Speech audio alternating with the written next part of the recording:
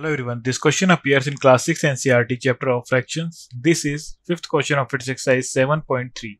So the question says that find the equivalent fraction of 36 by 48 with numerator 9. So part is our equivalent fraction given here 36 by 48 and we find out करना equivalent fraction जहाँ numerator given here 9. So denominator we assume कर x. So by cross multiplication 9 into 48 upon 36 so 9 से cancel out हो जाएगा 36 4 time and 4 से 48 cancel हो जाएगा 12 time so x is equal to 12 so equivalent fraction is equal to 9 by 12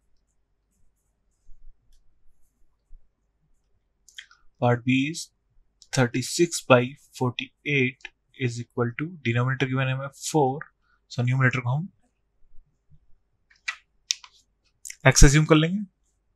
By cross multiplication x is equal to 36 into four upon forty eight so four से cancel out हो जाएगा twelve time and twelve से cancel out हो जाएगा thirty six three time so x is equal to three so हमारा so equivalent fraction is equal to three by four thank you